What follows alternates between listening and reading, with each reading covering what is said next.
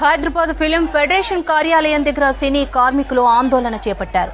వేతనాలు పెంచాలనే డిమాండ్ చేస్తూ ఫిలిం ఛాంబర్ ముందు బైఠాయించారు. నాలుగేళ్ళ నుంచి వేతనాలు పెంచుతామని చెప్తున్నారన్నారు. అయితే ఇప్పటి వరకు వేతనాలు పెంచలేదని ఫైర్ అవుతున్నారు. ఉదయం ఐదు గంటల నుంచి రాత్రి తొమ్మిది దాటే వరకు కష్టపడుతున్నామన్నారు సినీ కార్మికులు. తమ శ్రమని దోచుకుంటున్నారని ఆవేదన వ్యక్తం చేస్తున్నారు. ఇండస్ట్రీలో అందరికీ బాగానే ఇస్తున్నారని తమను మాత్రం పట్టించుకోవడం లేదని ఫైర్ అయ్యారు. వెంటనే వేతనాలు పెంచాలని డిమాండ్ చేస్తున్నారు. సినీ కార్మికులు యూనియన్ల వారీగా ఫెడరేషన్ కార్యాలయానికి భారీగా తరలివస్తున్నారు. దీంతో వారిని పోలీసులు అడ్డుకుంటున్నారు.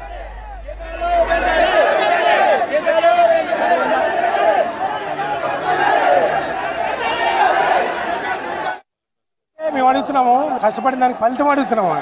అంతేగాని మేము ఏదో ఆస్తులు సంపాదించుకొని మీ సెటిల్ అవడానికి కాదు. మాకు మా పిల్లలతోటి ఇబ్బందులతోటి మా రెంట్లతోటి మేము తినే ఫుడ్ గురించి మేము రూమ్ రెంట్లు కట్టుకోవడానికి చాలా ఇబ్బందిగా ఉంది. ఆల్రెడీ మీకు అందరికీ తెలుసు ఆ గత రెండు సంవత్సరాల నుంచి కరోనా వచ్చింది. అప్పుడు వర్క్ అయితే మాకు లేదు. టూ ఇయర్స్కి టూ ఇయర్స్కి మాకు పెంచాలి. ఆల్రెడీ టూ ఇయర్స్ అయిపోయింది అది. ఆ కరోనా ఇబ్బందిలో మేము ఇబ్బంది పడ్డాము. అయినా ఇప్పుడు ఇంకో టూ ఇయర్స్ అయింది. అంటే ఫోర్ ఇయర్స్ అయిపోయింది. థర్టీ పర్సెంట్ మేము నాలుగు సంవత్సరాల నుంచి కూడా మాకు ఏం పెంచలేదు. పెంచమని అడుగుతుంటే ఇదిగో పెంచుతాం అదిగో పెంచుతాం అలా చెప్తాం ఇలా చెప్తాం అని దాటేసుకుంటూ పనులు చేయించుకుంటూ వెళ్ళిపోతున్నారు. మాది డ్రైవర్స్ యూనియన్ అన్న. మాకు వచ్చేది పొద్దున ఐదు గంటలకు వెళ్తే సాయంత్రం తొమ్మిదిన్నర వరకు మాకు తొమ్మిది వందల డెబ్బై ఏడు రూపాయలు ఇస్తారు. ఇప్పుడు ఫోర్ ఇయర్స్ అయింది. ఇప్పుడు రూమ్ రెంట్ ఎంత ఉంది? ప్రజెంట్ ఇప్పుడు నాలాంటి వాళ్ళకి సింగిల్ రూము సింగిల్ ఉండే వాళ్ళకి ఎనిమిది వేల ఐదు వందల రూపాయలు నడుస్తుంది. నిత్యావసర ఆయిల్ రెండు వందల రూపాయలు దాటిపోయింది. ప్రజెంట్ ఖర్చులు ఇప్పుడు ఇరవై వేలు లేనిది నెల నెల మెయింటెనెన్స్ అవ్వట్లే. మరి దాని గురించి మనం పోరాడాలి కదా.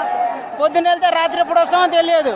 ఆ మిగిలిన ఇచ్చేవాళ్ళకి మాత్రం బాగా ఇస్తున్నారు డబ్బులు. కానీ కార్మికులకు మాత్రం తక్కువ ఇస్తున్నారు. దాని గురించే ఇది పోరాటం. రెండు సంవత్సరాలకి వెళ్ళి వేతనాలు పెంచుతామని చెప్పి పెంచలేదు. వాళ్ళ అవసరాన్ని బట్టి వాళ్ళ టికెట్లు వాళ్ళు అన్ని పెంచుతున్నారు. మమ్మల్ని మాత్రం కార్మికులు ఎవరు పట్టించుకోవడం లేదు. దీని గురించి మా ఒక ధర్నా. మా కార్మికులు మా వేతనాలు పెంచాలి మా కోసమే చేయాలని మేము దాని గురించి పోరాడుతున్నాం అంతే. మూడు సంవత్సరాలకు థర్టీ త్రీ ప్రకారంగా పెరగాలి అది ఇది నాలుగు సంవత్సరాలు అవుతుంది. ఇంతవరకు నాలుగున్నర సంవత్సరాలు అవుతుంది. ఇంతవరకు ఎవరు సమాధానం పట్టించుకుంటలేరు మమ్మల్ని. పొద్దున ఉదయం లేస్తే రాత్రి తొమ్మిది అవుతుంది ఒక కాల్ సింగల్ కాల్ చెట్టు ఇవ్వడానికి. ఈ సింగల్ ఎన్నిటికి పెట్రోల్ రేట్లు పెరిగినాయి నూనె రేట్లు పెరిగినాయి ఉల్లిగడ్డ రేట్లు పెరిగినాయి దాని పెరిగినాయి అన్నిటికీ పెరిగినాయి కానీ మా రేట్లు పెంచుతలేరు. ప్రొడ్యూసర్లు ఎవరైనా దయచేసి మా రేటు పెంచాలని ఆ పెంచే వరకు ఈ సమ్మె జరిగిస్తామని చెప్పేసి కొనసాగి తర్వాత రెండు వేల ఇరవై రెండు జనవరి నుంచి ఎప్పటికప్పుడు ఛాంబర్ వారితో సంప్రదింపులు చేస్తూ ఉన్నాం. ఎప్పటికప్పుడు వ్రాతపూర్వకంగా ప్రతి ఒక్క అంశాన్ని సార్ మాకు ఇలా ఉంది మాకు వేతనాలు పెరగాలి ఇప్పుడు ఇండస్ట్రీ బాగుంది ఇండస్ట్రీ కన్నాంతరాలు దాటుతుంది పెద్ద పెద్ద సినిమాలు రిలీజ్ అవుతున్నాయి పెద్ద పెద్ద సినిమాలు కూడా ఈరోజు ఒక పాన్ ఇండియా రూపంలో మన ఇండియాని దాటి ఒక ప్రపంచానికి మన తెలుగు సినిమా వెళ్ళే ఒక స్థాయి నుంచి స్థాయిలో ఉన్నాం కాబట్టి మా గౌరవ వేతనాల గురించి ఆలోచన చేయండి అని చెప్పేసి ఒక ఆరు నెలల నుంచి ప్రతిరోజు వాళ్ళ గుమ్మం తొక్కుతానే ఉన్నాం చాంబర్ గుమ్మం. అయినా సరే ఛాంబర్ వారి యొక్క పెద్దలకి ఒక్క ఉనికి లేదు. ఎందుకంటే ఎప్పటికప్పుడు చర్చలకు పిలుస్తారు ఒక చిన్న సమస్యలు ముందు పెడతారు. వారు పెట్టిన సమస్యలు ఒక మూడు సమస్యలు పెట్టారు. ఎందుకంటే వారు చెప్తున్నారు మీకు కూడా మేము వారి ముందు సమస్యలు పెట్టాము ఆ సమస్య పరిష్కారం కాలేదు కాబట్టి మేము చేయలేదని. ఆ సమస్యలు కూడా ఒక మూడే మూడు సమస్యలు. ఒకటి ఫైటర్స్ యూనియన్ సమస్య ఒకటి డాన్సర్స్ యూనియన్ సమస్య ఒకటి డబ్బింగ్ ఆర్టిస్ట్ యూనియన్ ఒక సభ్యుడి గురించి. ఎందుకంటే ఒక ఆర్ట్ ఒక యూనియన్లో ఒక సభ్యుడి గురించి ఛాంబర్కి ఫెడరేషన్ మాట్లాడే ప్రక్రియ ఎక్కడా ఉండదు.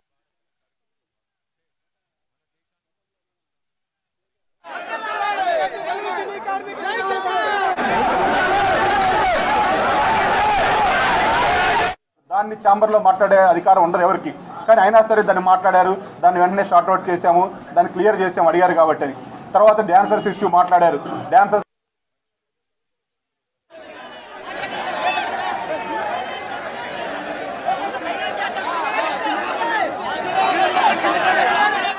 తర్వాత ఫైటర్స్ యూనియన్ నుంచి వచ్చారు.